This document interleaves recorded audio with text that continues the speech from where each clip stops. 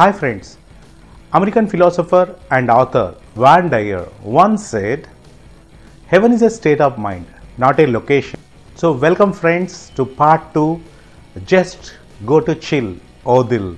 In this session we will learn how to anchor our state of mind for positive things.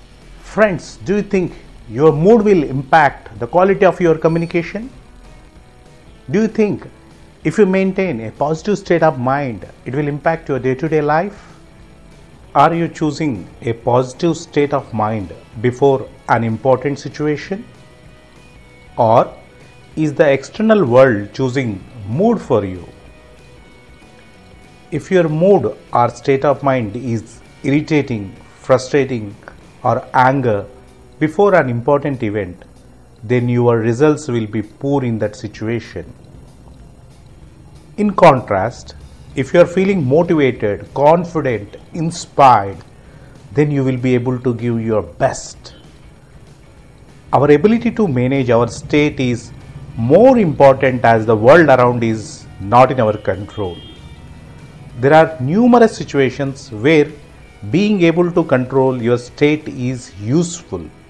For example, before or during an interview or sport competition or before giving a presentation and while presenting or in a difficult meeting or asking your boss a pay raise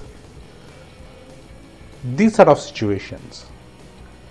Now think of the state that would be most useful to you in your professional life and personal life now think of a few situations that might cause you some unease.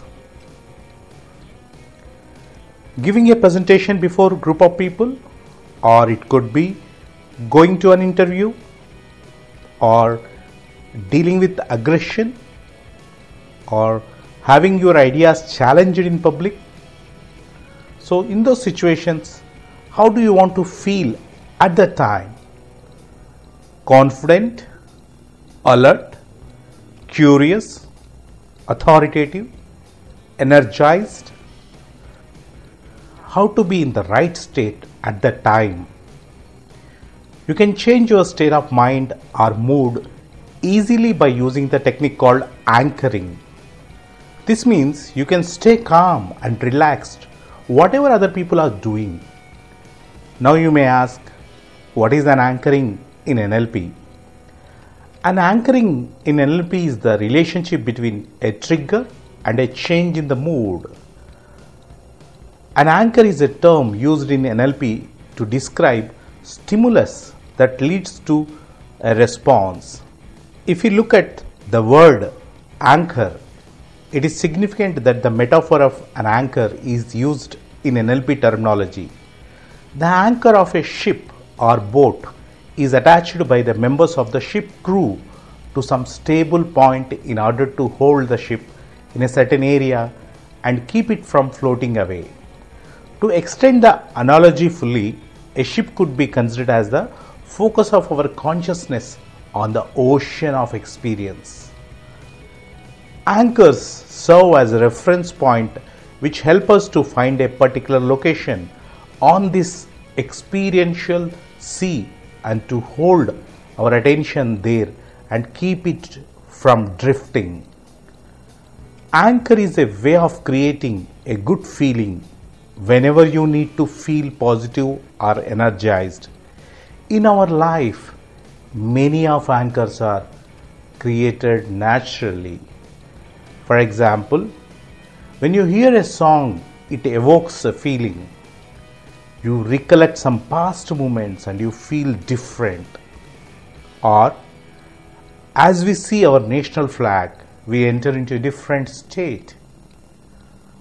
Or, certain perfumes make us feel different. Anchors are instant and automatic because they work at unconscious level. Advertisers use this principle of stimulus and response with their advertisements we watch a chocolate advertisement and we want to eat that chocolate. The process of establishing an anchor basically involves associating two experiences together in time. In essence, the theory of anchoring is simple. If we can link the state that we want to access to a particular stimulus, that could be a picture, sound, physical movement, taste, smell, or combination of these. Then, when we replicate this stimulus, we will immediately get into the desired states. So, let's do an anchoring exercise now.